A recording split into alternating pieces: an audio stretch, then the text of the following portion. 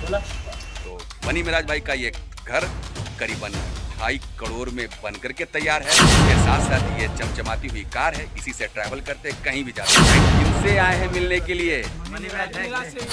ये मनी मिराज भाई का घर तो है। फ़िलहाल अभी यहाँ पे नहीं है। आ, कार आ चुका है। शायद यहाँ से निकलेंगे कहीं और के लिए। वो तो वक्त बताएगा।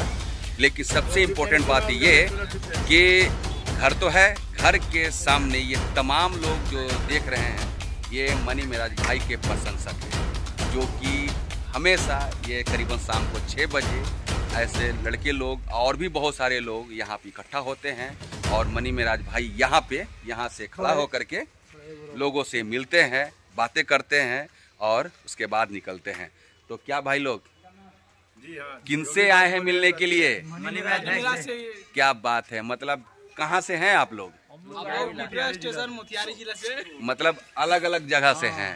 तो मनी मिराज से मिलने आए हैं। क्या है वो? क्या है? सुपर स्टार यूट्यूब का। सुपर स्टार है। इनके सामने कितने बड़े बड़े स्टार फेल हैं? बहुत स्टार फेल इनके पवन सिंह हाँ खेसारी लाल फेल है। सारे फेल हैं। समझ सकते हैं यहाँ के प्रशंसक इतना खतरनाक है कट्टर हैं कि मनी मिराज के सामने कोई भी नहीं, चाहे बड़ा से बड़ा भोजपुरी के कलाकार क्यों ना हो, लेकिन यहाँ के तमाम लोग, मनी मिराज के फ़ैन चाहने वाले लोग, वो सिर्फ़ इतना ही कहेंगे कि मनी मिराज है यूट्यूब और भोजपुरी का बादशाह। तो मनी मिराज भाई का ये घर करीबन ढाई करोड़ में बन करके तैयार है और इसी जगह पे वो रहते हैं। ये ना कि पटना, मुंबई, राजधानी में रहते हैं। इसी जगह पर रहते हैं मुजफ्फरपुर में।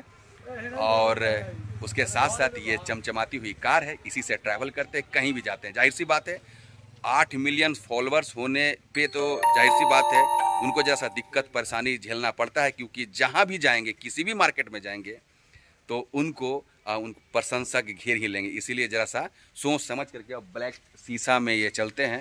भाई इनकी मजबूरी है। ऐसा नहीं कि इनके अंदर में किसी भी तरीके का कोई घमंड है। जय हिंद।